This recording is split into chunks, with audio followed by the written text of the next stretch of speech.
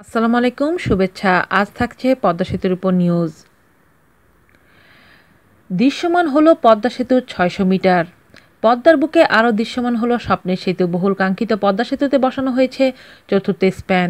আজ রবিবার সকাল সাতটার দিকে স্প্যানটি বসানো হয়। এর মাধ্যমে পদ্মা সেতুর ছয়শো মিটার দৃশ্যমান হলো। এর আগে তিনটি স্প্যানে চারশো পঞ্চাশ মিটার দৃশ্যমান হয় স্বপ্নের সেতুটি। পদ্মা সেতুর জাজিরা পয়েন্টে চল্লিশ ও একচল্লিশ নম্বর পিলারে সকালে বসানো হয় চতুর্থ স্প্যান অর্থাৎ সুপার স্ট্রাকচার। শনিবার মুন্সীগঞ্জের মামা কনস্ট্রাকশন ইয়ার থেকে চতুর্থ স্প্যানটি শরীয়তপুরের জাজিরা প্রান্তে নেওয়া হয়।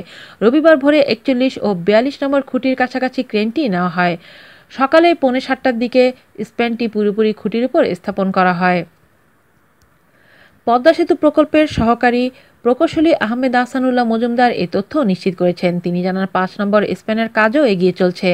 এখন চলছে রঙের কাজ। সম্পূর্ণ কাজ শেষ হলে এটিকে জাজিরা প্রান্তে একচল্লিশ ও বিয়াল্লিশ নম্বর পিলারের উপর বসানো হবে। দক্ষিণাঞ্চলের মানুষের দীর্ঘদিনের দাবি ছিল, পদ্মা সেতু বর্তমান সরকার ক্ষমতায় আসার পর এই সেতু বাস্তবায়নের উদ্যোগ নেয়। তবে দুর্নীতি ষড়যন্ত্রের ধোয়া তুলে এই প্রকল্পে অর্থায়ন না করার ঘোষণা দেয় বিশ্ব ব্যাংক সহ কয়েকটি দাতা সংস্থা। পরে নিজস্ব অর্থায়নে পদ্মা সেতু করার ঘোষণা দেন প্রধানমন্ত্রী শেখ হাসিনা।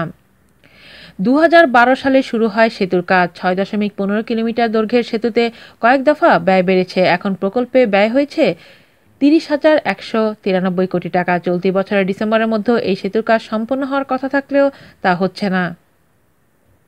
দু সালে তিরিশে সেপ্টেম্বর জাজিরা প্রান্তের সাতত্রিশ ও আটত্রিশ নম্বর পিলার উপর প্রথম স্পেনটি বসানো হয়। দু সালে আঠাশে জানুয়ারি আটত্রিশ ও উনচল্লিশ নম্বর পিলারের মধ্যে দ্বিতীয় স্পেন বসানো হয়। দু হাজার আঠারো সালের এগারোই মার্চ উনচল্লিশ ও চল্লিশ নম্বর পিলারের মধ্যে তৃতীয় স্পেনটি বসানো হয়। এভাবে ছয় দশমিক পনেরো কিলোমিটার দৈর্ঘ্যের পদ্মা সেতুতে বিয়াল্লিশটি খুঁটির উপর একচল্লিশটি স্পেন বসানো হবে। পদ্মা বহুমুখী সেতুর মূল আকৃতি হবে দোতলা। কংক্রিট ও স্টিল দিয়ে নির্মিত হচ্ছে এই সেতুর অবকাঠামো।